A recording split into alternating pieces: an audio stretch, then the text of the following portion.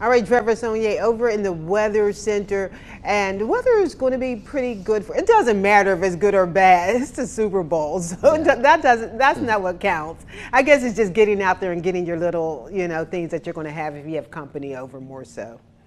Yeah, well, the weather won't be bad for today. Yeah. I'll call it mostly cloudy. We do have a chance for showers 30% is what I'm going with now, but I think most of that will be to our north. Let's take a look at temperatures.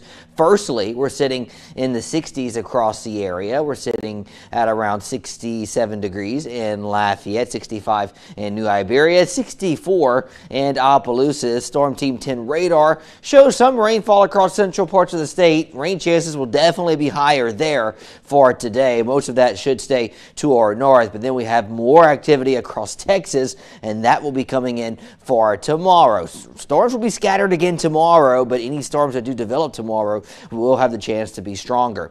Mid 70s for the highs today, mostly cloudy, isolated showers, 20 30% south breeze at around 8 to 16 miles per hour. Seven day forecast has about a 40% chance for storms tomorrow. Lower 60s Monday. Good news, weather looks beautiful for Tuesday and Wednesday. Highs in the lower 60s. Morning starts in the upper 30s to lower 40s. Renee, back over to you.